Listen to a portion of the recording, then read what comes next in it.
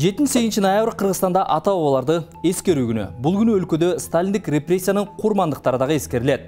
1937-38 жылдары күч алган репрессияда Кыргызстандан аргандай булактарда 20 миңден 40 миңге адам өлүм жазасына тартылганы айтылат. Ошол кездеги коомдук ишмерлер Төрөкул Айтматов, Иманалы Айдарбеков, Баялы Исакеев, Касым Тыныстанов, Жусуп Абдрахманов баштаган интеллигенциянын 137 өкүлүнө дагы эл душманы деген айып коюлуп, 1938 жылы 5-8 ноябрь күндөрү атууга кеткен.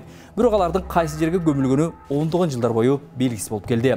Алардын сөөгү көмүлгөн жер 50 жылдан ашык убакыттан кийин гана дайын болгон.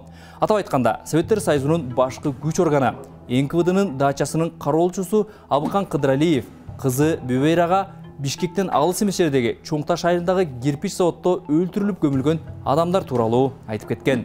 Бүбира Кыдыралиева бул маалыматты 1990 жылы гана ачыкка чыгарып, атууга кеткендер Төрөкул Айтматов, Иманалы Айдарбеков, Баял Исакеев, Касым Тыныстанов, Жусуп Абдрахманов баштаган интеллигенциянын өкүлдөрү экени аныкталган. Маркумдардын сөөгү 1991 жылы 30 августта ошол жерге жаңы негизделген ата бейит аруланып кайра коюлган.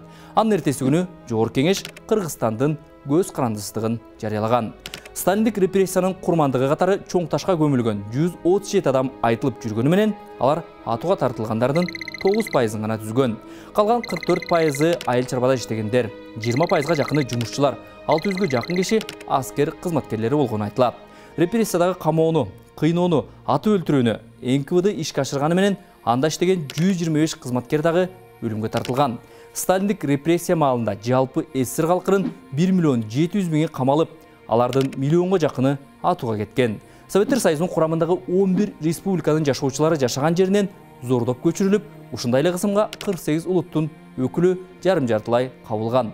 Немистер поляктар калмактар карачайлар балкарлар ингуштар чечендер крым татарлары корейлер финдер сибирге казакстанга борбор азия республикаларына айдалган.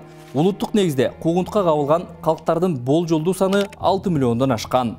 Тарыхчылар сталиндик репрессиянын залалын иликтөө зарыл экенин кыргызстанда бул иштин чети да электигин айтышат